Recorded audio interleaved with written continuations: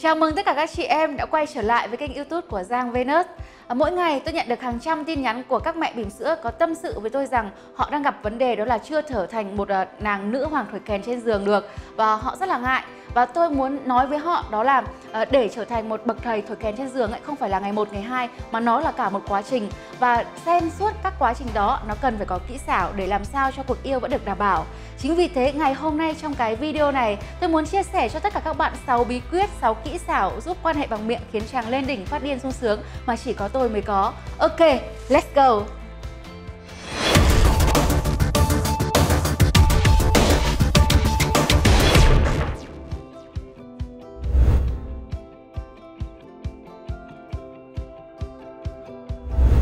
Rào thứ nhất, kêu gọi chú nhỏ thức dậy.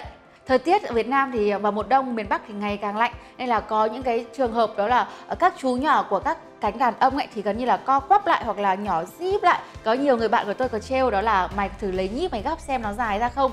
Còn ờ, ở miền Nam thì ờ, khí hậu thoải mái nên là nó không có vấn đề này. Thì tôi muốn nói đó là nếu mà lúc mà bạn quan hệ mà chú nhỏ đã cương cứng rồi ấy, gọi là lên nòng lên đạn thì các bạn quan hệ rất là thích đúng không? Còn nếu mà chú nhỏ nó bé xíu này này và nó gọi là nó mềm oạt này nó không có gọi là không có cái cảm hứng để quan hệ thì việc đầu tiên bạn phải gọi chú nhỏ thức dậy và gọi chú nhỏ là một nghệ thuật và người gọi chú nhỏ là một nghệ sĩ việc đầu tiên đó là tôi hay áp dụng nhá đó là tôi có thể thơm cậu bé này thơm chuột nhẹ nhàng một tí này và giống như tôi gọi là đánh thức dậy ấy. đấy và lúc sau tôi sẽ lấy hai tay của tôi cùng một lúc giống như là tôi nâng. Tôi không biết các bạn như thế nào nhưng mà tôi rất là nâng niu uh, chú nhỏ của chồng tôi. Tôi cảm giác giống như một sinh vật rất là thiêng liêng ấy. Tôi lấy một tay tôi nâng tinh hoàn và một tay tôi nâng cậu nhỏ lên. Và tôi nâng và tôi nâng tôi rất là gọi là ân ái tôi rất là um, phải trân trọng với các bạn tưởng tượng cái cảm giác đó. Và vừa gọi lên này vừa tay phải thì bắt đầu vuốt nhẹ nhàng. Đấy còn tay trái bắt đầu nghịch tinh hoàn để cho nó có thể săn lại và bắt đầu tôi thơm thơm thơm và bắt đầu tôi sẽ lấy cái lưỡi của tôi tôi thơm nhẹ vào cái đầu khớp để nơi đấy là nơi tập trung rất nhiều các dây thần kinh cảm giác. Và bắt đầu chú nhỏ đang nằm nằm ngủ và bắt đầu nó dựng lại dựng lại bắt đầu nó to lên. Càng to thì mình lại càng lấy tay mình cầm mình nắm từ dưới lên. Đó và mình càng vuốt vuốt thì nó càng cưng cứng lên càng vĩ đại lên. Và khi mà nó đã thức rồi ấy, thì đấy là lúc mà các bạn phải tận hưởng. Kỹ thuật 2 treo chọc thổi hơi vào chú nhỏ uh, có một sự thật mà không phải chị em phụ nữ nào cũng đủ tinh tế để nhận ra rằng uh, chúng mình khi mà quan hệ tình dục không phải là tập trung vào bên dưới ngay mà các bạn phải tập trung vào bên trên cái cảm giác và cái biểu cảm trên gương mặt của đàn đàn ông đã. Và tôi ấy bình thường khi mà người con gái gợi tình ấy là khi mà nhìn vào mặt ờ, đối tác nam giới của mình ánh mắt gọi là rất là dâm đãng rất là lả lơi và cái miệng nên để há ra. Giống như các bạn giống như tôi phải nói các diễn viên hoặc là các bộ phim nào người ta gọi các bạn cứ tưởng tượng cái cảnh này đúng không? Giống như chuẩn bị thú vồ môi ấy. Đấy, và bạn hãy há miệng ra và bạn ánh mắt lơ đãng này, lẳng lơ này, gọi như thế. Và bạn hãy nhìn vào ánh mắt của đối tác bạn chồng của mình. Và mình bắt đầu mở miệng ra, giống như mình chuẩn bị ăn, chuẩn bị ăn tươi, nuốt sống hoặc nuốt chọn cái gì đó của chồng. Và bắt đầu mình già dần già dần, thổi hơi nhỏ và bắt đầu vào ngực này, rồi rốn này, rồi đùi non, rồi bắt đầu đến vùng cấm địa của chàng. Và đừng có ngậm ngay hay đừng có mút ngay nhé, mà hãy thổi nhẹ nhàng. Thổi hơi này, không phải là thổi giống như là mình bị bỏng tay. Mà thổi đây có nghĩa là mình phả hơi từ trong cái vòng họng của bạn bạn hiểu không? Nếu mà bạn thổi thì nó rất là mát và cảm giác nó rất là lạnh. Còn nếu mà bạn thở thở uh, phả hơi từ trong vòng họng của bạn ấy, thì nó cực kỳ ấm. Giống như bạn đang hà hơi bạn tưởng tượng được không? Và khi mà hà hơi ấm như thế thì nó sẽ kích thích dương vật của chàng rất là mạnh. À, bạn hãy thử áp dụng cái chiêu này. Và khi mà hà hơi làm cho mình cảm giác như là nó dạo dực hơn ấy, thì cậu nhỏ bắt đầu dậy rồi thì à, mình hãy liếm môi trên và môi dưới cho nó thật là ướt chớ, chớ bị à, khô nứt nẻ. Và mình hãy thơm nhẹ cái đầu khắc của nam giới. Sau đó là hãy dùng chiếc lưỡi ẩm ướt của mình à, đi vòng quanh có thể là hình xoắn ốc hoặc là hình xích rác gì đó. Và mình vừa vừa vuốt cái thân của nam giới và mình vừa phả hơi đấy thật ấm mà làm cho nó như một cái xúc xích nóng bỏng ấy. Tôi nói như thế các bạn hãy tưởng tượng. Kỹ xảo ba liếm từ gốc lên ngọn.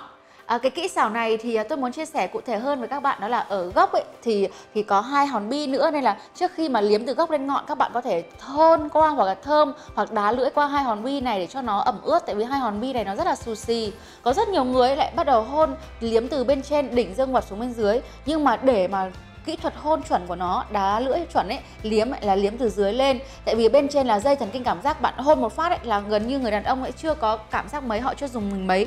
Nhưng khi mà họ bạn hôn từ hai viên bi bắt đầu bạn hôn chậm chậm liếm từ dưới lên trên thì sẽ làm cho người đàn ông bắt đầu run hết người lên. Và gần như là hôn đến lên trên cùng bạn hôn nhẹ hoặc bạn đá lưỡi vòng quanh ở cái đầu khắc của nam giới thì làm cho nam giới có thể run lên đến đỉnh điểm hơn. Có một sự thật đó là khi bạn hôn ờ, từ dưới lên trên ấy, thì bạn hãy dùng cái lưỡi ẩm ướt của mình uh, hôn thật chặt nút thật chặt.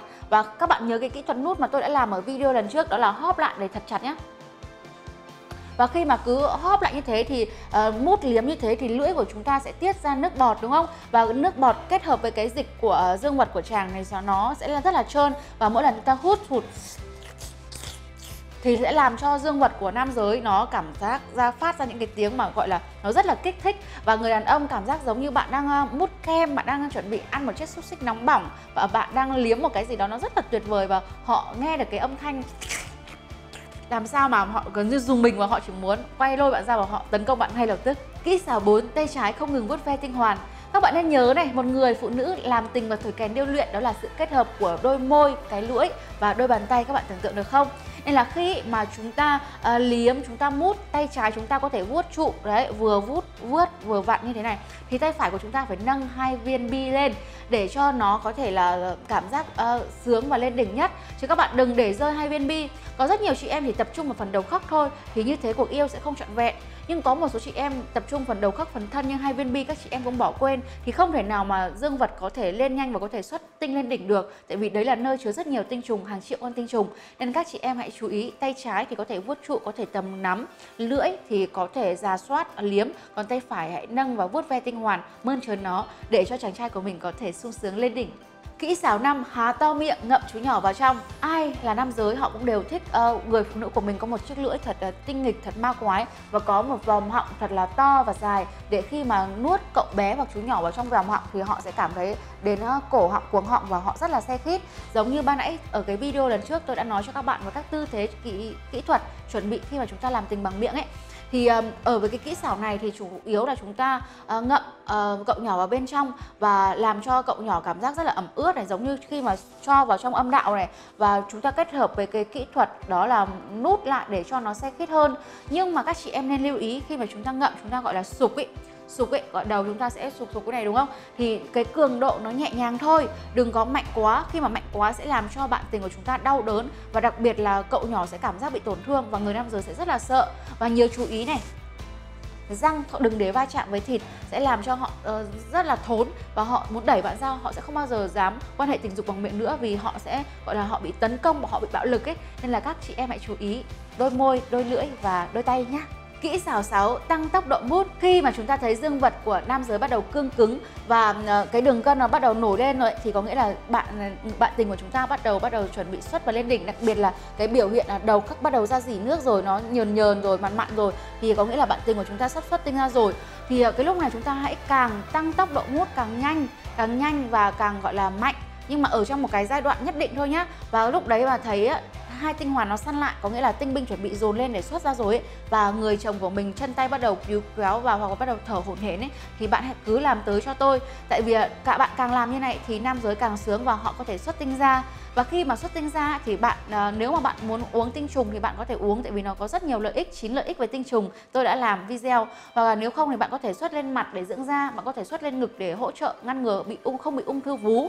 Còn à, nếu mà bạn à, ngại thì bạn có thể đề xuất ở đâu đó. Hoặc nhiều lúc ấy bạn họ có thể du bạn ra để họ xuất ngay ở trên chính ở cái vùng bụng của họ và bạn nghĩ sao nếu khi mà xuất xong chàng vừa xuất xong bạn có thể vừa liếm dọn sạch tinh trùng của chàng và bạn lại bắt đầu ngậm tiếp và bạn lại chuẩn bị cho cuộc yêu mới? Có rất nhiều người xuất xong là xong, nhưng có rất nhiều người xuất xong rồi lúc đấy mới bắt đầu một cuộc yêu mới. Thì tùy bạn là người như thế nào, phù hợp với cuộc yêu như thế nào, thì hai bạn có thể chọn một cái tư thế cực kỳ hợp lý và có thể áp dụng làm sao cho hai bạn có thể lên đỉnh tuyệt vời nhất có thể. Thực sự để mà nói thì à, có rất nhiều người busy chuyên nghiệp nhưng họ không hề biết những cái kỹ xảo này. Và bản thân tôi là người đúc kết ra những cái kinh nghiệm của tôi suốt những năm mà tôi và hai vợ chồng tôi đã gọi là nghiên cứu với nhau đã giúp cho nhau cách mà lên đỉnh sung sướng nhất. Thì đây là những cái kỹ xảo sau cái kỹ xảo này tôi đúc rút từ chính bản thân tôi. Và tôi muốn chia sẻ cho tất cả các bạn tôi muốn trao giá trị cho tất cả các bạn để các bạn có thể áp dụng nó để giúp cho đời sống vợ chồng các bạn có thể hạnh phúc hơn thăng hoa hơn. Và đặc biệt đó là uh, nếu mà cái kinh nghiệm BG không thể nào mà một sớm một chiều có thể thuần thục được. Nhưng cái kỹ xảo này xem xong cái video này tôi cam kết rằng bạn có thể áp dụng và thực hành ngay lập tức. Và tôi rất là muốn các bạn à, trở thành một bậc thầy nữ hoàng thổi kèn trên giường. Và sau khi thực hành xong đừng quên nhắn tin lại cho tôi cảm nhận nhé. Xin chào và hẹn gặp lại.